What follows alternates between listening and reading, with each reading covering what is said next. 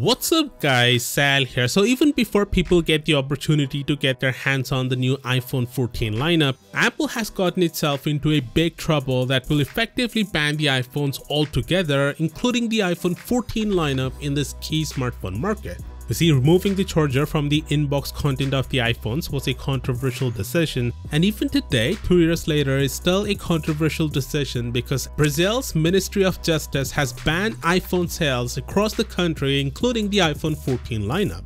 The primary reason for this is Apple's decision to stop including a power adapter with the purchase of the new iPhones. And not only that, but Brazil has also fined Apple $2.4 million each day it breaks this ban, which means if Apple stops selling iPhones or starts bundling the chargers with the iPhones, then it won't see this fine. Apple tried to argue that they did it for the environment as it reduces carbon wastage. But you, I, your dog, and even Brazilian ministry knows that this is Porra! Brazilian authorities didn't buy Apple's explanation and argued that Apple could have taken other measures to help the environment, such as adding USB-C charging support to its iPhones. The authorities have also stated that Apple has not shown if removing the charger had any of the environmental benefits that Apple claimed to justify its move. So they decided that selling devices without a power adapter is a deliberate discriminatory practice against consumers and banned the iPhones in Brazil until Apple decides to include chargers with them.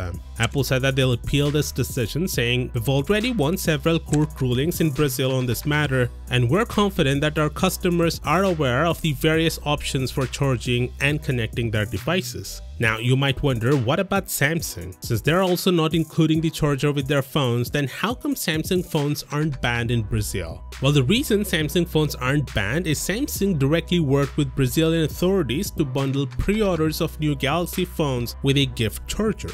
Moving on, one of the interesting features of the iPhone 14 Pro is the dynamic island. It effectively camouflages the pill cutout with information on things like notification, calls, timers, music and more. Now the beauty of Android platform is that it's much open to third-party app developers. So an Android developer has already made a dynamic island style notification area for an Android device. As you can see, it successfully manages to hide the pinhole selfie camera in the corner when the island is expanded. Now Xiaomi hasn't approved the design just yet, but don't be surprised if they are the first one to come up with something like this officially. Now I don't think Samsung would implement this on their flagships because this would ruin the experience for selfie cameras because you'd need to clean the front camera lens every time you use it but you never know. They've copied Apple in the past with chargers, headphone jacks and more so I wouldn't be surprised if it happens again. To see Samsung making fun of Apple and the iPhone 14 Pro for the fourth time click here and I'll see you tomorrow.